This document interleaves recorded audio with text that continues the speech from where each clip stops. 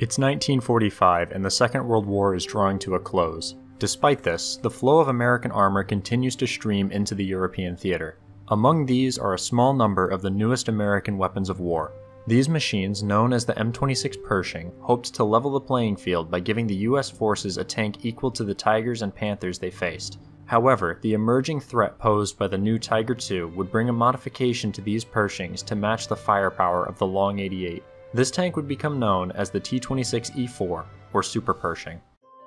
Throughout history, there have been countless tanks, all designed to kill. But not all have been a success. What happened to the ones that never made it, and why did they fail?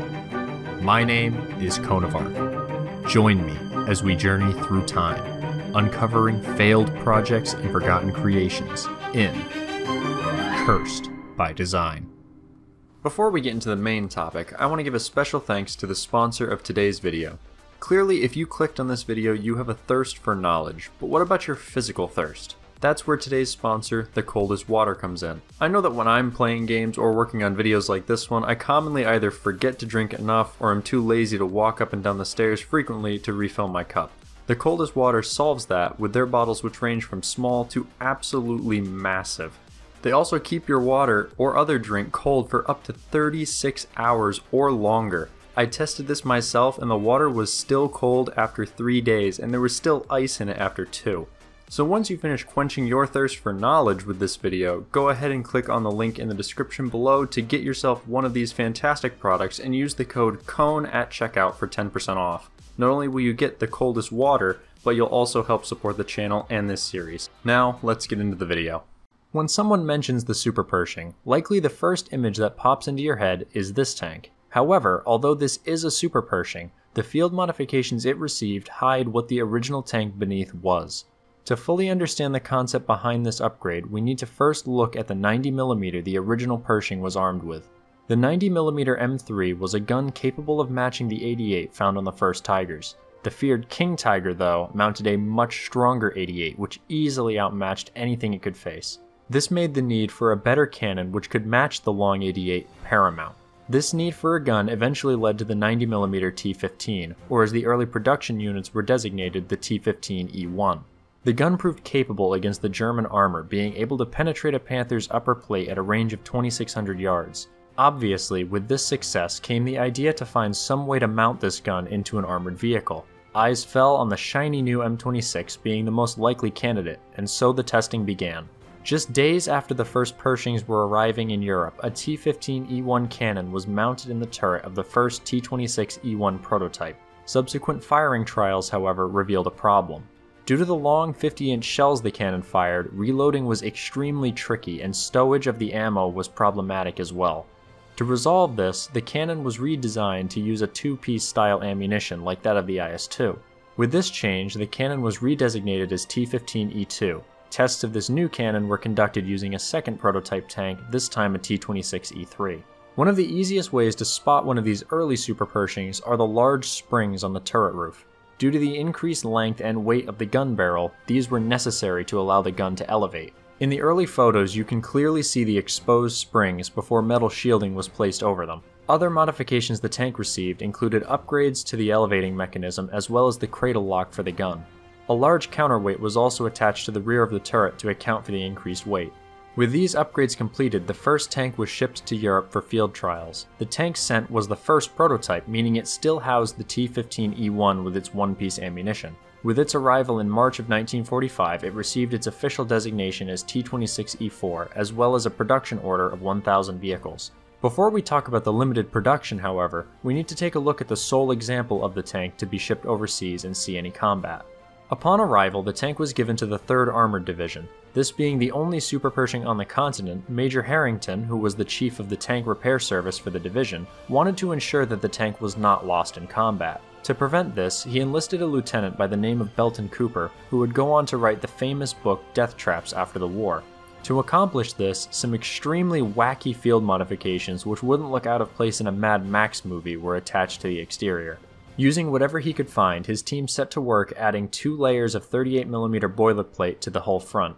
Despite this steel not being as strong as true armor plating, the angling and effective thickness was good enough that they theorized it would cause ricochets.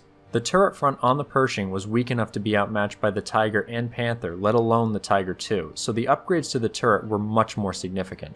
Cutting torches at the ready, they descended on a destroyed Panther, slicing a piece of its 80mm frontal plate off and creating holes for the Pershing's main gun, coaxial machine gun, and sight before attaching it to the turret face. However, this increased armor obviously increased the weight as well.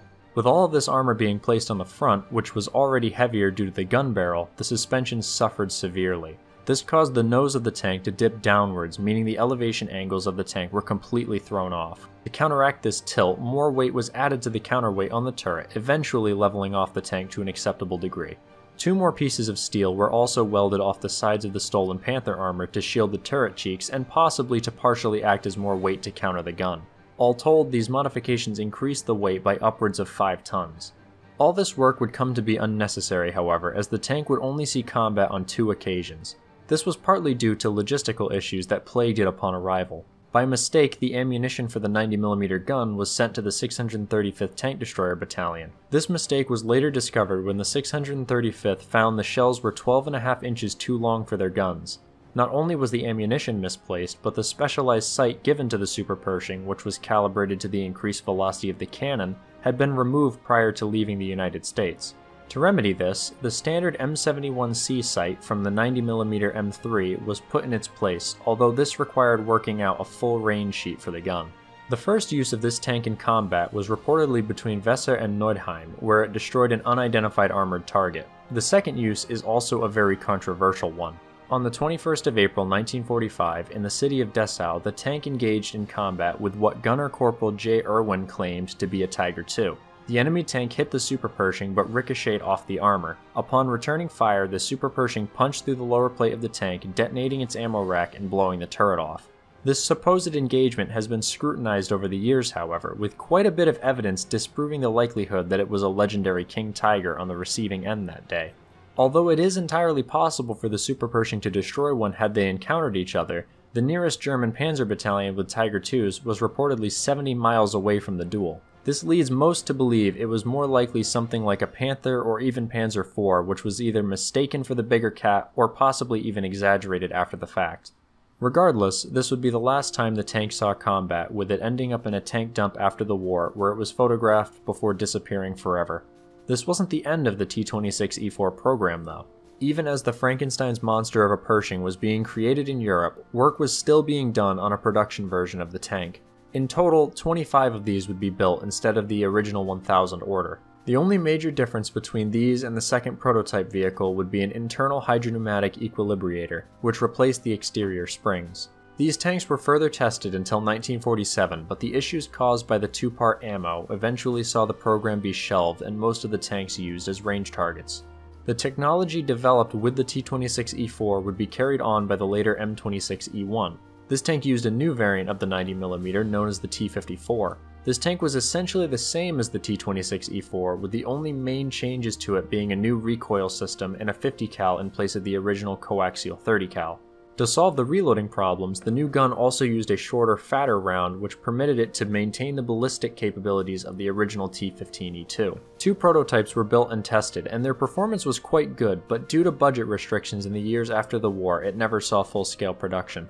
In the end, the T-26E4 Super Pershing could have been a very powerful weapon for the Allied forces. Like the standard Pershing, however, the war was nearly over and the much more plentiful tanks used by the Allies stole the day. The fact that even just one of these machines actually reached Europe is quite an achievement in itself, since the US had largely avoided allowing field testing of any new equipment. Although extremely promising, the American King Tiger killers would never truly be used for their intended role. One solitary Super Pershing remains today on display at the 1st Division Museum in Illinois. I want to take a second now to thank you all so much for voting on this topic. If you want to learn a little more about some of the nitty gritty details regarding this tank, I encourage you to check out the video the Chieftain made about it. I'll include a link down below and at the end of the video. As always, a special thanks to all my YouTube members for continuing to support the channel. If you want to continue voting in a monthly poll for future topics, click the join button and become one today. If you enjoyed the video, don't forget to leave a like and subscribe for more videos just like this one. Appearing on your screen now will be one video from my channel YouTube feels is best for you, as well as the full Cursed by Design playlist if you don't trust an algorithm to pick for you. See you there.